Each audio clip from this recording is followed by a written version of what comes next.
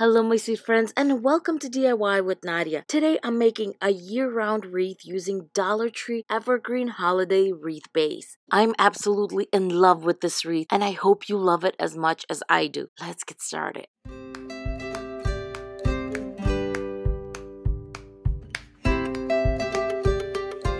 For today's wreath, I'm going to be using a Dollar Tree evergreen wreath. And yes, this one's a little sparse, but for what we need, it's going to do perfect. The really cool part about using something like this is if you can see the back, the wiring that they make this wreath with is really, really flexible. If I wanted to make a square wreath, I can definitely just bend a corner and you saw how easy that was. Let me undo that. Or if you wanted to make an oval wreath, just bring it in and you got a beautiful oval wreath. The possibilities are really endless with this one as far as what shape you want. For deco mesh, I'm going to be using this beautiful burlap deco mesh. It does have little white in it, but it's so pretty. I got this at Joann Fabrics. Any burlap deco mesh you have on hand will do if you're going to do something really similar to this. When using burlap deco mesh, always, always look at the length because they're more expensive than the regular deco mesh and it usually does not come in the 10 uh, yards that we're used to. So this one's nine and a half inches, so almost 10 inches, and it's 19 feet. I'm sorry, I'm losing my voice a little bit. So 19 feet is 228 inches. Divide that by 8, you're going to get 28.5 inches. So I'm going to be cutting this deco mesh into 28 inch uh, little strips. The reason I always do the math when it comes to these is because you want to know how many uh, loops you're going to have and what's the appropriate amount to cut. And especially if you're going to use one, if you're going to have the 10 yards and you're going to have leftover, then it's not a big deal. But if you have one roll of something, you want to make sure it lasts, then yeah, do the little math. Just convert it, Google it. It's really easy. Since my board is 24 inches and I have half an inch on here, I'm going to add three and a half inches on my ruler and I'm just going to set that right underneath my mat. That's how I do it. That way I have the 28 inches that I need. Because of the white fabric in this burlap, you would either need to use a heat gun or scissors. And I'm going for my scissors because I don't have a vented area in my office right now. So I'm going to do that. And as I said, if you're using the heating tool, make sure you're in a vented area because you're basically breathing in that plastic that the deco mesh is made out of. Have all eight strips ready to go. And what I'm going to do is, well, first take this off. But what I'm going to do is I'm going to do one, two, three, four, and then five, six, and seven, eight. Meaning, since we don't have an exact kind of location, I'm just going to make it easy on myself. As far as my strips, I'm just going to start on one side and I tend to fold just in the beginning. We're not even rolling anything. Just give it a fold and off you go, just gathering it straight in the center.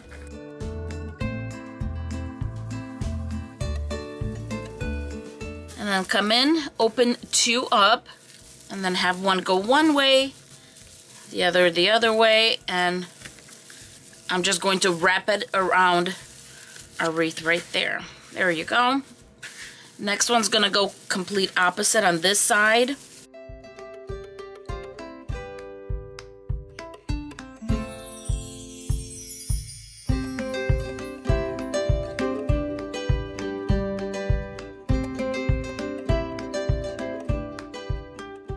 Twist it and bend it back. Now that I have my initial four, I'm just going to do the same thing with the rest of these and just go in between each of the four.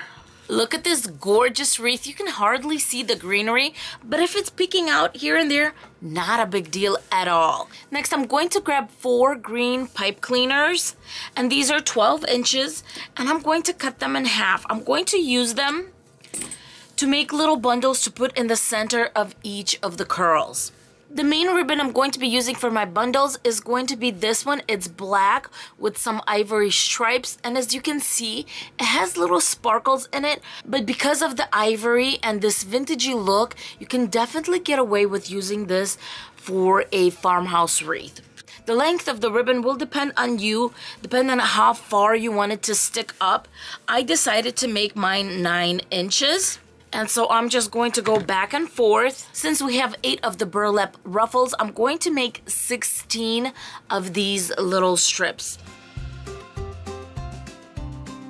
I have all 16 pieces of ribbon cut into 9 inch strips and all I'm going to do is just fold the ends right here and make little dovetails. I'm going to finish this off in a second, but until then, I'm going to grab some more holiday stuff. These are berry garlands, and you can get these year-round in any uh, craft store. So I'm going to grab these, and they're 9 feet long. And I'm going to make strips of about 8 to 9 inches using wire cutters to cut this. I'm just going to fold the ends just like that. Let me measure about eight to nine inches.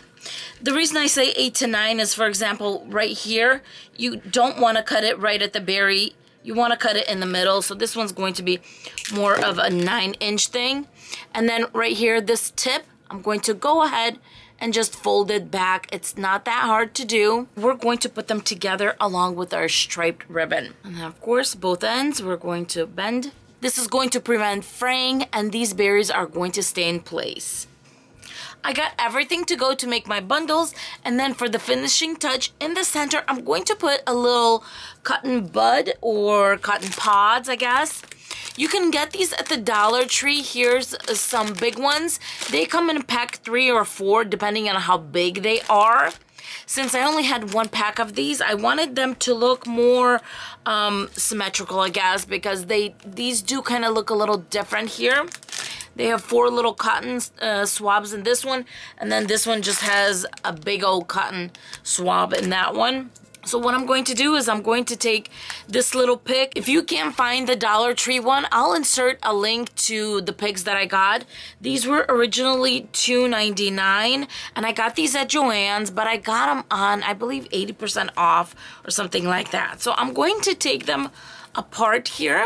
Taking these apart is harder than it looks, which means these are really good quality. They all come with little wires, so I'm going to undo the wire here so I can get a longer wire. And I'm going to twist this one right here, and then these two together right here. And then this way we can put it around our little centerpiece this way. I'm going to start by bringing two of my ribbon, just crisscrossing them. And then with these, we're going to just lay them just like that, not a big deal. Make sure berries are not in that center. Bring this together with our pipe cleaner, kind of move it up. Two beautiful twists in the back. And then we're going to wrap it around our first bundle here. Twist in place. Then we're going to grab our cotton pod, put that in the center, and then twist that in place. And I have my first little bundle. The ribbon, we're just going to curl out just like that. But the berries, we're going to kind of push them up towards the center. That way they're going to be noticeable a little bit more.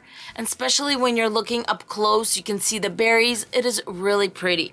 So I'm going to go ahead and finish off doing all the bundles, going all the way around.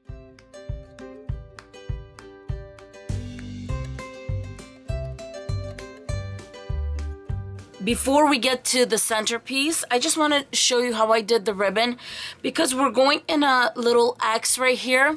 So if I have my little X going this way right here, then this one is going to go this way where it's kind of interlocking and so on and so forth. You can see the same thing here where it's going like this and then this one is turned sideways like this. And then of course this one is like this. And I'm just going to go ahead and straighten all of that out and keep on going all the way around. But before I do that, let's work on the centerpiece. I'm going to use this beautiful Dollar Tree sign. It says Home Sweet Home. And then I'm going to grab some wire that's black, just like my sign here. And I'm going to cut four strings and I'm just being generous and eyeing how long I want these to be. And by the way, this is a 26 gauge wire. And all I'm going to do is I'm going to grab my wires and I'm going to tie them on here. And I'm just going to go right around, tie it in the back, give it a few twists here. And then right here on that center bar. And you know what? I think I want one at the bottom, so I'm going to cut another one. From a distance, these are going to be pretty much unnoticeable. Going to gather them, put them right in the center of the wreath here, and then start attaching them to the sides of the wreath. And this bottom one is going to be nice because it's just going to stabilize it in place. And I'm just going to attach it right here to the bottom. I'm just doing a few twists around and then I'm just twisting it around the wire itself. After I have it in place, I'm just going to pull up my ribbon right here just to kind of work it in. And that's it. Our wreath is done. Very simple, very easy. And I love the fact that this wreath is an everyday wreath. You can have it in your home in a specific spot the whole year round. And this makes for such a perfect gift. I hope you enjoyed this video. Now here's a close-up.